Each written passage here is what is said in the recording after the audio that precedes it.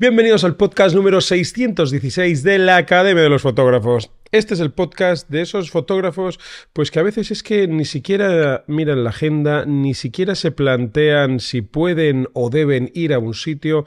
Son de los que enganchan su mochila, meten la cámara, eh, han cargado ya las baterías, cogen cinco o seis tarjetas de memoria y dicen yo me voy a hacer fotos porque es que es lo que me apetece, es lo que me da la vidilla. Y de eso se trata este podcast, porque, damas y caballeros, del 3 al 9 de agosto, repito, en la capital del mundo. Vosotros no sabéis cuál es la capital del mundo. La capital del mundo es Nueva York, con Manhattan por bandera, con la Quinta Avenida, la Gran Manzana, Central Park, Broadway, Madison Avenue, eh, Top of the Rock, Empire State Building, todos esos hitos, todos esos eh, lugares icónicos, pues que a los fotógrafos nos, nos ponen los pelos de punta. Y y mm, no quiero ser yo solamente quien os lo cuente, porque hoy estoy acompañado divinamente de una fotógrafa, escritora y amiga personal, y además de muy buena amiga, que se llama Silvia González. Silvita, bienvenida al podcast, ¿cómo estás? Hola, buenos días desde Londres. Como dices tú aquí, soy viajera empedernida. Y nada, pues te agradezco la oportunidad de contar experiencias y que todos los amigos fotógrafos pues conozcan qué bien nos lo pasamos en los viajes.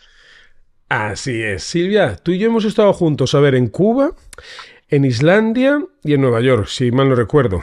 ¿Correcto? En Islandia dos veces, que yo soy repetidora, que como no apruebo eh, las asignaturas, tengo que repetir viajes. es verdad. Cuba, Islandia dos veces y Nueva York. Bueno, y este año vamos juntos a Turquía también en noviembre. Y La Rioja, no te olvides del Wine and Photos, que nos lo pasamos súper bien también.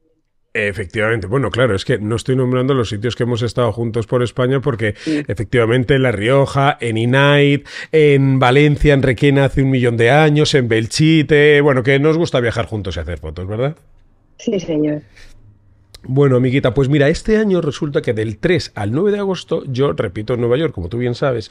Entonces, queridos oyentes, yo le dije a Silvia, oye Silvia, quiero hacer un programa sobre el viaje fotográfico a Nueva York. ¿Por qué no te pasas por el podcast? Tú que estuviste allí haciendo fotos, estuvimos juntos y le cuentas un poco, pues, por, por no ser yo quien hable siempre, le cuentas al público de primera mano qué ofrece Nueva York, cómo fue tu experiencia, las fotos que hiciste, lo que te gustó de la ciudad, ¿no? Desde el punto de vista, pues, de, de una viajera que va a hacer fotos. Pues a ver, para mí fue eh, una experiencia un poco diferente, porque como dices, pues hemos viajado a algunos sitios icónicos y sobre todo hemos hecho fotos de naturaleza, de auroras. Entonces, encontrarte con una ciudad como es Nueva York, con todo lo que ofrece, pues te crea al principio un poco de conflicto entre fotógrafo y disfrutar de las cosas. Al final mm. puedes hacer las dos y no, no, perder comba de hacer muchas fotografías y al mismo tiempo de disfrutar cosas un poco diferentes. Vas con los ojos todo el tiempo abiertos. Eh, eh, cosas que puedes hacer infinitas. Eh, aparte de, todas las que teníais programadas con el viaje, que fueron muchas y ahora me imagino que iremos contando, pues yo tuve otras experiencias porque yo me fui unos días antes para ir conociendo la ciudad. Y, bueno, yo lo recomiendo 100% porque es una experiencia que no te puedes perder. Sí. ¿No te, parece que caminar por las calles de Nueva York es como estar en esas películas que hemos visto durante toda la vida y que de alguna manera te hacen rememorar pues escenas, lugares, es como, ay Dios, y yo por aquí parece que he pasado antes, ¿no? Eh, hay, flashes, hay fotogramas grabados en nuestra memoria que corresponden, bueno, pues a, calles de las que nosotros vamos a pasar un millón de veces. Me viene a la mente, por ejemplo, pues la Quinta Avenida. ¿Cuántas películas se han rodado en la Quinta Avenida? Y ahí, Silvia, coincido contigo en que, un lado, estás haciendo fotos, pero por otro lado es como, coño, quiero empaparme de esto, quiero pasar a los sitios, quiero, eh, bueno, dejar la cámara por un segundo y, formar parte de la sociedad neoyorquina. ¿No te parece que es así? Totalmente. Te ves, por ejemplo, en el Rockefeller Center, que nosotros estuvimos haciendo fotos arriba, pero la parte de abajo, donde la gente está patinando, donde ponen luego el árbol de Navidad, todo ese ambiente. Por ejemplo, la que has dicho lo de la Quinta Avenida, yo me fui un día a hacer mi día Pretty Woman, que es muy mm. divertido porque te vas de tiendas, eh, Claro, luego entras en las tiendas que tú puedes comprar, ¿no? Pero la cosa de pasearte por ahí, por la Quinta Avenida, Tiffany's, todo lo que nosotros hemos visto en esas pelis que dices, pues es una, no sé, yo, yo, yo sé que iba con mi sonrisa todo el rato por ahí caminando. Eh, pues no sé, cuando llegas a Times Square la primera vez y te ves Oh. todos los anuncios luminosos. Todo eso también lo hemos visto en las películas, pero es como que de repente estoy ahí, estoy dentro de, estoy viviendo yo la película, ¿no? Y es, es increíble, es muy chulo. Es verdad. Bueno, mira, eh, esto me está haciendo recordar un poco el orden del viaje y es que nosotros cuando llegamos a Nueva York, que normalmente, eh, bueno, si venís desde España, pues seguramente que voléis conmigo, eh, llegamos a Nueva York y allí nos recoge un transporte privado, ¿vale? Que nos deja en la puerta de nuestro hotel. Hotel que, por supuesto, está en el centro de Manhattan, porque bueno, nosotros pues vamos a aprovechar el tiempo y no vamos a estar gastando la vida ahí en, en desplazamientos, aunque luego allí nos movemos mucho. Eh, mm, este Silvia, ¿y qué me dices? ¿Qué me dices del paseíto en helicóptero que nos dimos, helicóptero sin puertas? Bueno, eso yo eh, creo que nadie se debe ir de Manhattan sin vivir esa experiencia. Recuerdo perfectamente que llegamos, estábamos un poco nerviosos. Recuerdo la frase nada más sentarnos porque nos explicaron todas las instrucciones, el arnés de seguridad. Y recuerdo la frase de ¿esto es necesario? Y todos nos miramos así. Y cuando despegó el helicóptero a los tres minutos dijimos, sí, esto es necesario. O sea, una experiencia brutal que, no sé, ver desde el cielo Manhattan. Además cogimos una buena hora porque despegamos de día, iba anocheciendo, con lo cual vimos toda la parte de Manhattan, la, Estatua de la Libertad, la isla, todos los puentes. Además el, el piloto pues se portó súper bien, nos dio muchas vueltas por sitios que para que sabía que estábamos haciendo fotos y el hombre pues nos, nos, nos ayudó en ese sentido, ¿no? No simplemente se dedicó a hacer una pequeña pasada, no, repetíamos sitios para hacer fotos y bueno, la sensación de que no quiero que esto termine, quiero volver a subirme, quiero volver a hacer esto. Así Es que verdad. si vais con María a Nueva York, por favor, apuntaros al viaje de helicóptero y con las puertas abiertas da al principio un poquito de sensación, pero luego es eh, necesito asomarme, necesito mirar. Sí, sí, sí. Eh, necesito porque no da vértigo, ¿verdad? atreverme. Es que No. es una cosa rara, porque, bueno, con las puertas abiertas no, helicóptero sin puertas. ¿Te acuerdas? No tenía puertas, que es lo mejor, ¿no? Que es lo mejor. Y lejos, y lejos de parecer algo así, pues de mucho vértigo, algo como de la adrenalina. No, no, o sea, fíjate que yo, yo tengo vértigo y yo iba sentado ahí con un pie por fuera. Qué curioso, ¿eh? Y, eh, quizás porque el helicóptero pues no va muy rápido, o qué sé yo, ¿no? O no sé, no, no- yo no tenía sensación ni de velocidad ni de muchísima altura. Y ojo, íbamos por encima de los rascacielos y hay rascacielos que tienen 100 pisos o ciento y pico. Así que la altura era evidente. Pero vamos, que ahí lo pasamos en grande. Animo a todo el mundo a que se meta en, en, bueno, en el enlace que dejo aquí en la descripción, porque está la publicidad del viaje de este año y el vídeo en el que Silvia y yo salimos ahí dentro del helicóptero, pues pasándonoslo en grande. Oye, Silvia, ¿y qué me dices de Broadway, de esos musicales, de las luces por la noche? Bueno, eso fue otra experiencia. Eh, fue muy divertido porque en mi día de Pretty Woman yo me compré un vestido estupendo para ir a Broadway el día que vinierais vosotros. Y, entonces nos pusimos todos guapos. eh, fue- fue- conseguimos entrada, entrada en un espectáculo que pensábamos que era otro y luego nos lo pasamos muy bien también. Es Eh, impresionante, impresionante. O sea, el estar en un espectáculo de Broadway, cómo trabajan las luces, la puesta en escena, los actores, también lo recomiendo mil por mil. Yo también tuve una pequeñita experiencia antes de eso, que si podéis eh, hacerlo, es en, el Stardust, que es eh, un pequeño bar de hamburguesas típico. Y es donde los actores de Broadway, pre- los pretendientes actores de Broadway, son Sí. camareros allí. Y entonces tú estás cenando y al mismo tiempo están interpretando canciones de Broadway. Es muy, muy divertido. Entonces, o un- una cosa para abrir boca y, por supuesto, no perderos un espectáculo, el que sea. Todos son espe- vamos, espectaculares de, de allí de Broadway. Sí, porque los, los americanos son muy exagerados, ¿no? Por ejemplo, yo, eh, por ponerte un ejemplo, el Rey León solo lo he visto en Madrid, pero eh, tengo constancia, dice, tú ves el Rey León en Broadway y es como 20.000 20.000 veces más espectacular que en Madrid. Bueno, oye, eh, ¿te acuerdas cuando cogimos el barquito para ir a ver a la Estatua de la Libertad, ese crucero en ferry? Eso también estuvo chulo, ¿verdad? Estuvo muy chulo porque, bueno, allí es una forma de desplazarse bastante habitual el coger el ferry. Puedes coger ferries pues para ir a, a Brooklyn, para ir a la isla, a la Estatua de la Libertad. Nosotros cogimos ese y la experiencia de ir navegando, ver todo el skyline de Manhattan desde el mar cuando te estás desplazando en el ferry. Es muy chulo también. Eh, digno también de fotografiar. Y se puede hacer desde el barco y también cuando estábamos ya en la isla, eh, desde ahí también se puede hacer fotografías de todo lo que es la parte de Manhattan desde, desde fuera. Y bueno, la Estatua de la Libertad que os voy a contar. Bueno, impresionante. Es, impresiona, ¿eh? Impresiona la Estatua de la Libertad, impresiona. Pues es tan, tan icónica estar ahí debajo de ella, ¿no? a mí, fíjate que era una cosa que ni fu ni fa, pero no, no, caramba, me impresionó la Estatua de la Libertad y estar ahí. Te dan ganas de comprarte cualquier recuerdito de estos que los ves en las tiendas o por ahí dices, qué cutre, pero cuando has estado allí te evoca unos recuerdos estupendos. ¿Sabes qué me está viniendo a la mente? Esa película de cazafantasmas en la Biblioteca Nacional de Nueva York, ¿no? Con su escalinata ahí, eso también está, es muy fotogénico.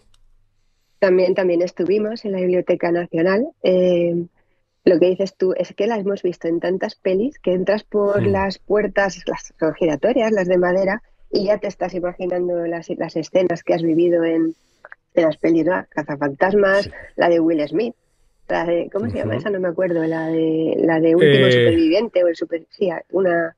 Bueno, el caso es que empiezas a recordar esas películas y, bueno, otro sitio también icónico para visitar. Y justo enfrente de la biblioteca, un poquito, un poquito más, creo que es a la izquierda, más hacia el Rockefeller, está también la catedral de San, de San Charles, me parece, que también dentro pues es como todas las que hemos visto, pero fuera rompe todo lo que sería... Rompe la estética total, La estética total y es para fotografiar, pues tienes a las espaldas el Rockefeller y enfrente tienes una catedral, pues también muy icónica. Es muy, muy bonito.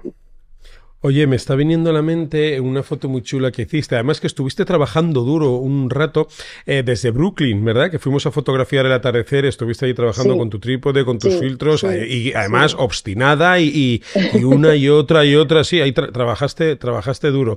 Nos cruzamos, bueno, nos fuimos al otro lado de Manhattan, ¿vale? Hacia el puente de Brooklyn y debajo de él, pues estuvimos fotografiando el skyline, eh, bueno, pues con las luces del atardecer. Además está ahí toda la bahía las lucecitas de los rascacielos.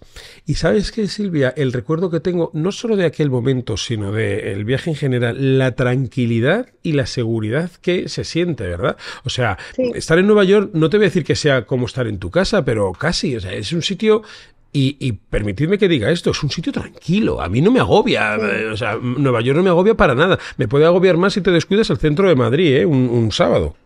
Sí, sí, totalmente de acuerdo. A ver, cuando estábamos todos juntos, pues íbamos el equipo y los compañeros y la sensación de tranquilidad, pero es lo mismo, la misma sensación de tranquilidad. O sea, la gente puede viajar eh, no solamente en, en relación con la seguridad, yo creo que además es la ayuda que te da la gente, porque a todo el mundo que preguntas, todo el mundo te ayuda, eh, intentan, yo por ejemplo mi inglés es bastante cutrillo, ¿no? De ir por casa y de poder viajar un poco y ya está. No tuve absolutamente ningún problema para comunicarme, para preguntar, para... Además, cuando la gente me veía pues que necesitaba algo, se ofreció. Es, la gente en Nueva York es muy, muy amable. Y luego, pues en lo que dices, tu sensación de seguridad, pues con las cámaras, las cosas, en ningún momento tuve yo una sensación, para nada, ¿eh? de, de peligro, de que había mucha gente o de agobio, para nada. Es decir, cada uno va a lo suyo y es lo típico, eso sí que es verdad, cada uno va a su historia y ya está. Bueno, pero escucha, eso pasa en Cuenca también, no te creas. Mira, Silvia, ¿recuerdas cuando visitamos el, la zona del distrito financiero donde estaban las Torres Gemelas en su momento, Wall Street? Aquello también es una zona que se ha, yo creo que se ha modernizado un poco con la, con la construcción de algún edificio nuevo y luego, pues bueno, la parte clásica de, de Wall Street, de la Bolsa de Nueva York. Eso también tiene ahí su, su paseito interesante, ¿verdad? Todas esas calles callecitas estrechitas, eh, la zona de los rascacielos, la estación de Calatrava, es alucinante. Ahí se pueden hacer unas fotografías de, arquitectura también muy chulas. Esa zona me gustó a mí mucho y fíjate que no estaba entre mis favoritas, pero este último viaje, pues no sé por qué, pero creo que lo he disfrutado más. Además, bueno, se te pone la primera, se me pone ahora mismo la piel de gallina, solo de recordar el momento. Nueva York es una ciudad ruidosa, es donde siempre hay gente, la ciudad que no duerme. Es siempre, en todo momento hay personas, hay ruido, hay coches y sin embargo en ese punto es como que de repente se hace el silencio Eh, la gente muestra respeto total por el punto donde está puesto lo que es el monumento y, en fin, es un sitio que, bueno, que te, te coge un poquito el corazón, pero al mismo tiempo miras hacia arriba y ves pues todos los rascacielos y ya te digo, no sé, para mí el respeto que veo en la gente cuando está en esa zona, para mí es muy importante ver cómo se recuerda todo ese momento y, cómo ellos, no sé, han sabido hacer de algo que fue un drama, pues una cosa bonita. Así es. Hay gente que me dice, coño Mario, yo quiero ir a Nueva York, pero es que dicen que es una ciudad muy cara. Yo recuerdo perfectamente porque, claro, como yo, bueno, pues tengo que guardar los tickets de mi comida por mi rollo profesional, pues yo me gasté como 300 euros en comer en una semana. Es que no gastamos mucho dinero comiendo, ¿verdad? Para nada. No, porque además los fotógrafos tenemos un pequeño defecto o virtud, como lo quieras ver. Y es que te coges la cámara y te encandilas haciendo fotos y de repente dices, uy, habrá que comer algo, ¿no? Entonces, habrá que comer algo. Ahora sí hicimos eh, de todo, hemos, comimos bien, comimos en sitios chulos, pero también sobrevivimos con nuestros perritos calientes que, callejeros que estaban divinos.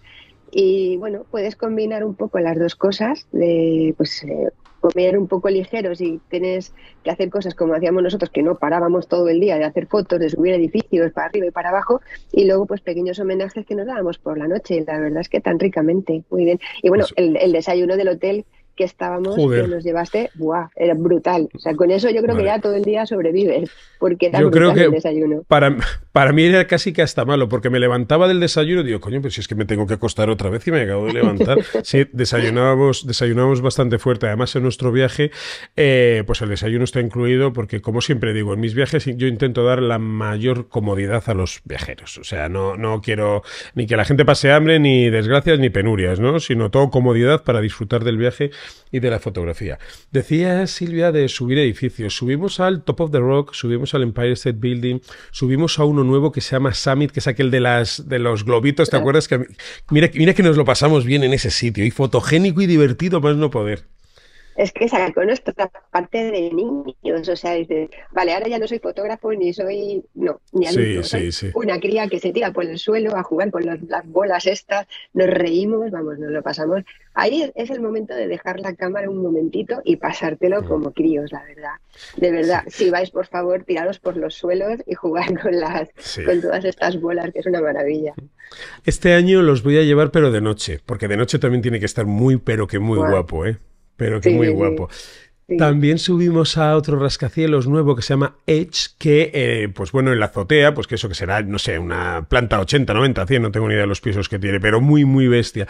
Pues hay una parte de la azotea que el suelo es cristal, ¿no? Entonces la gracia, ¿te acuerdas? Era tumbarse ahí y es que parecía que te ibas a suicidar. Ya, qué interesante. Y ese, ese edificio, el Edge, también para fotógrafos intrépidos tenía, un, tenía una actividad que nosotros no nos atrevimos y es que te ponen un arnés y te dejan que te inclines como si te fueses a precipitar desde la parte más alta del edificio. No fuimos capaces, ¿eh? pero hubiese estado chulo eso. No, no, no, no. Yo ahí sí que. Mira, creo que es la única cosa que no me atreví a hacer. Porque ahí el vértigo sí que me podía. Pero vamos, la gente lo hacía y salía con unas caras. Si hay algún valiente en la sala, por Dios, que lo haga y nos lo cuente. Que lo haga y nos lo cuente. Mira, cerca de este sitio estaba otra visita obligada para nosotros, que es la tienda de fotografía VIH, V&H Photography. Eh, también, bueno, pues otro sitio icónico que si estás en Nueva York siendo fotógrafo, pues que hay que visitar.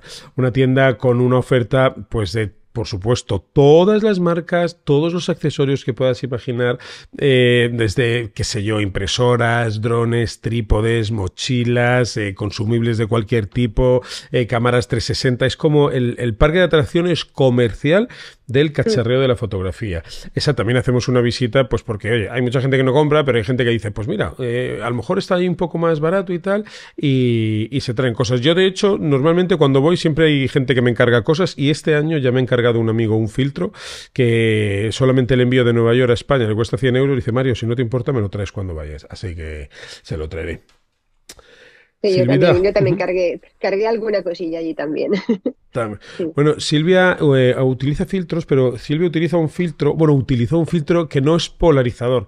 Silvia ha utilizado un filtro que se llamaba volarizador, con V, volarizador. Silvia, ¿podrías explicar aquel filtro volarizador, eh, a qué se debía su nombre? Pues a ver, recuerdo que estábamos en el piso 10 de, un hotel en La Habana y yo pues, ¿qué hacemos los fotógrafos nada más levantarnos y ver la salida del sol? Pues abres la ventana y dices, voy a hacer esta salida del sol que es preciosa. Entonces empieza una ventolera de estas en el piso 10 y mi filtro, que se ve que, claro, yo no lo había enroscado como debía, de repente veo como uh, sale volando así hacia, hacia el infinito y más allá. Y ahí se quedó. Yo digo, claro, imposible recuperarlo. Así que fue el primer polarizador de la historia. Filtro polarizador. Bueno, pues a ver, un poquito de resumen del viaje, chicos. Deciros que el día 1 tenemos previsto, aunque luego esto es, por supuesto, susceptible de modificación a nuestro antojo, ¿no? Porque vamos a ser un grupo pequeño y nosotros nos movemos por, de que, por donde queremos. Pero día 1, la zona de Quinta Avenida y Rockefeller Center. Día 2, le daremos mucha caña a Central Park. El año pasado, Silvia, cogimos una bici y le dimos la vuelta, ¿te acuerdas? Uf, sí. Menudo, hicimos una pequeña carrera que yo perdí, por supuesto. Porque claro, como ibais vosotros y yo, a mí me dieron una bici que el problema era la bici, no yo, ¿eh? que conste, que no, que no cambiaba las marchas aquello. Pero era muy divertido, nos lo pasamos muy bien.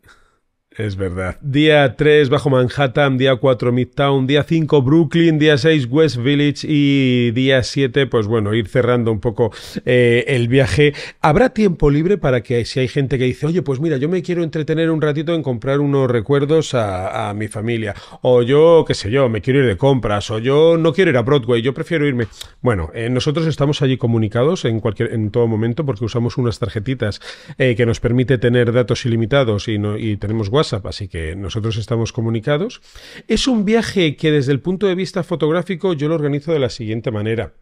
Eh, a ver, eh, un viaje por Nueva York, desde el momento que sales a la calle, yo puedo ver una foto al lado izquierdo que tú no ves y a mí me interesa quedarme unos minutos y tú no tienes por qué quedarte unos minutos a mi lado. Entonces esto lo organizamos que de alguna manera yo voy poniendo puntos de corte. Venga, va, pues eh, vamos caminando juntos, pero veo que el grupo, pues uno quiere hacer unas fotos y otros, y otros otras.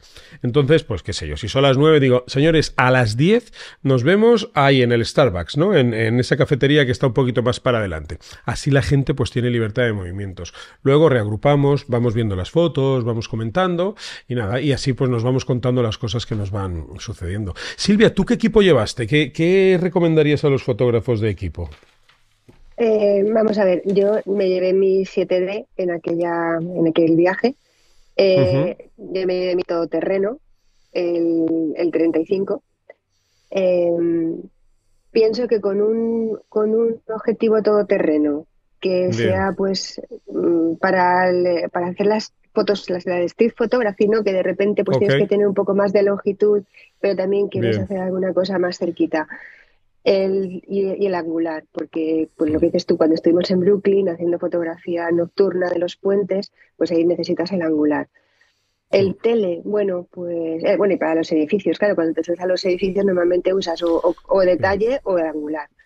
Yo creo que entre angular y 70-200 puede ir por ahí la cosa. ¿no? el, el, tele yo hmm. creo que es innecesario, no, no lo veo, hmm. o sea, no, no a ver, el que quiere cargar con mucho equipo lo puede llevar, pero también andamos mucho, se hace muchos, se patea mucho, entonces llevar excesivo peso tampoco es muy bueno.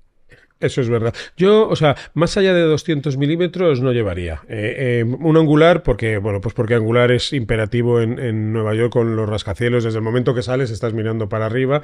Luego, un telemedio, un 2470, algo así, pues para callejear, etcétera, etcétera. Y un 70-200 sería como, como los tres, ¿no? Y si alguien tiene un todoterreno tipo 18-200, no se quiere andar complicando, porque como dice Silvia, se patea mucho, pues mejor, mejor que mejor.